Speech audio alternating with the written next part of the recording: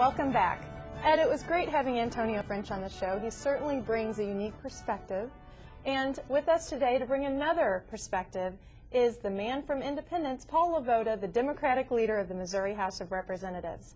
Representative LeVota was first elected in 2002 to represent voters in parts of Independence, South Kansas City, Lee Summit, and Unity Village. In 2007, he was elected by his fellow Democrats as their House Democratic leader.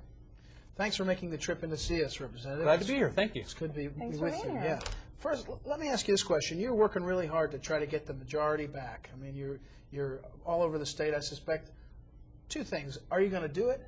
And if you do it, what's your priorities going to be? Well, the first question is the, the main question. Can we do it? We're 11 seats behind now.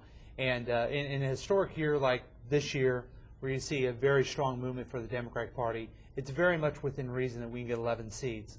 And the reason we're able to do that is because we have strong candidates throughout the state. Um, St. Louis County, St. Charles County, Mid-Missouri, the Kansas City area.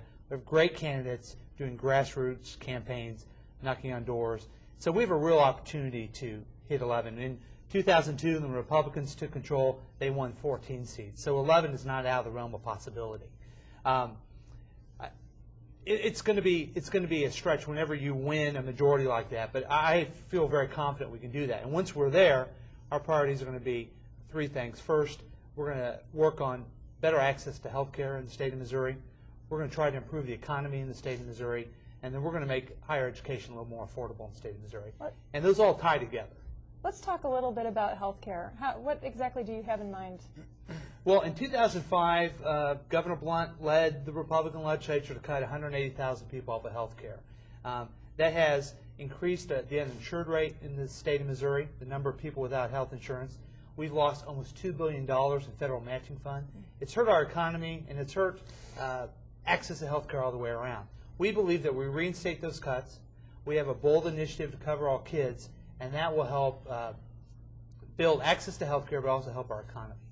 Sounds like we're slipping into Midwest talking points there because we slipped into talking points on on the this money you're going to draw down. Let me ask you this: the economy is as bad as it is, and you've got a vision to expand Medicare, um, excuse me, Medicaid. How are you going to afford it? I mean, I think everybody, including Jay Nixon, has said no to tax cuts, but how are you going to be able to afford that kind of expansion? Well, it, it's real simple. There is supposedly a $600 million surplus.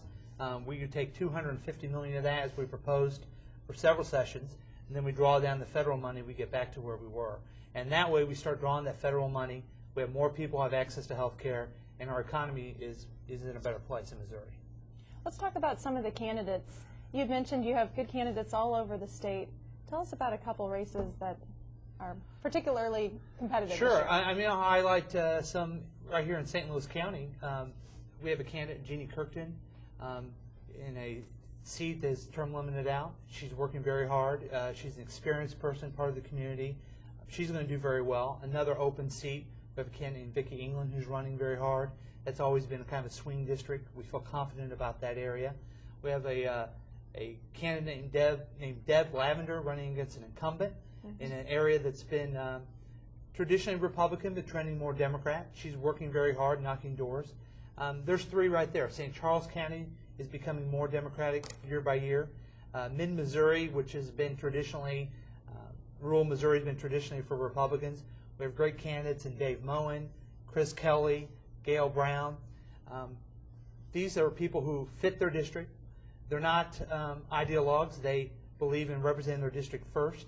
And that's what they'll do when they're in Jefferson City. They're not going to care about who the governor is or their leader is in the legislature. They're going to represent their district first. So there, I just mentioned, what, seven there? Right. And I haven't even got to the Kansas City area. You can see with the math, we have a real opportunity to win back the House. It's got to be hard to keep track of that many candidates at a time. it's hard to keep track, and you know they all bring different strengths. Some are good in the field, some are good at the fundraising, some are good with their uh, knowledge in the district. And what we're trying to do, our caucus, is to uh, have a uh, structure of support for them to kind of fill in the gaps when they need the additional help. Does uh, does Senator Obama being the presidential candidate and Governor Nixon, how do those impact your local races? A House race is really about your neighbors, you know, your, your extended neighbors. How are you finding that Senator Obama and Governor Nixon, excuse me, Attorney General Nixon, uh, Freudian, Freudian. God help me, but uh, Right. yeah, well, how's that impacting? Because you'll hear different kinds of criticisms and questions about the impacts. Sure. I, I- I guess I would say that the number one reason a state rep candidate wins is because of their effort and that they fit the district and how well they communicate. With that said, you see the Obama campaign with the energy they have and the structure they have. 40 offices around the state, 150 staff members. They have uh, registered a lot of Democrats. They have high enthusiasm. Structurally, that's going to help our candidates. Um, the fact that Jay Nixon is running well, Jay Nixon has led a very strong organization of the Democratic Party to ID many, many people throughout the state we didn't have before.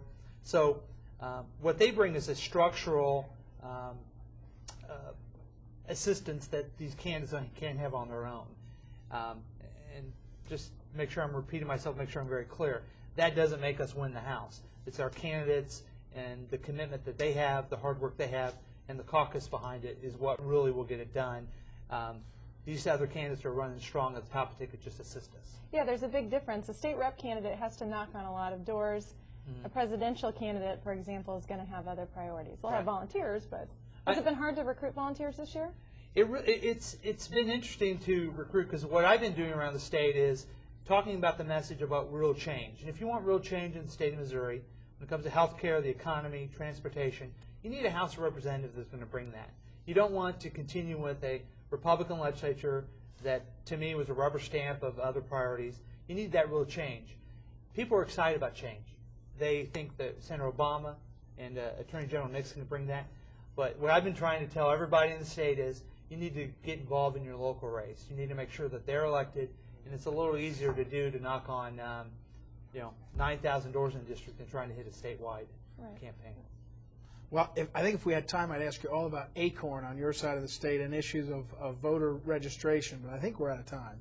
So I think, I wouldn't, I, I wouldn't know about that anyway, but I can tell you there's a lot of enthusiasm and we have a real opportunity.